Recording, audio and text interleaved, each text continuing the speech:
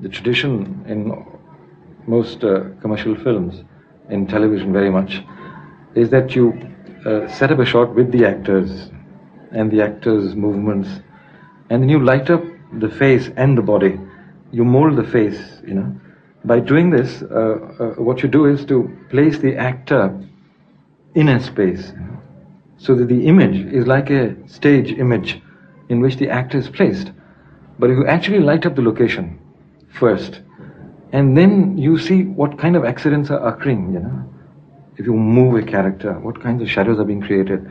Because there is a certain uh, random quality about light on faces, you know. They're not molded in the way of a key light and a fill light and a background light, you know.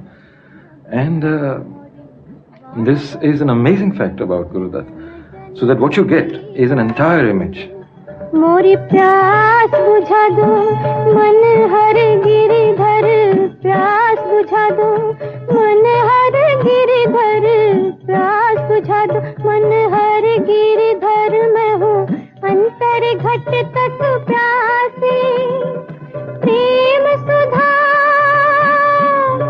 मोरी सवारियों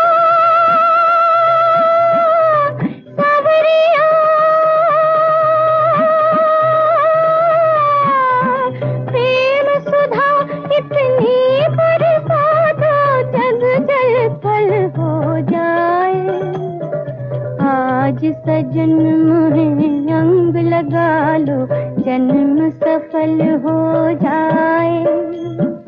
हृदय की पीड़ा देह की अग्नि, सब शीतल हो जाए। आज सजन मुहे अंग लगा लो, जन्म सफल हो। I suspect that what he had in mind was the market. That was developing at that time in India with the emergence of stars. Everybody realized that uh, the star was the horse you know, in the races, and uh, it, everything centered on the star. You know. And uh, no longer the director was allowed to do what he wanted to do and in the time he wanted to do. For example, take 20 takes and spend a whole day trying to think of how he would conceive the scene. Guru Dutt himself had no reason to be anxious about uh, the rejection of a film because throughout his career, whether they were comedies or tragedies, he made more or less successful films. But he didn't realize that the film that he was making was going to be itself a big disaster.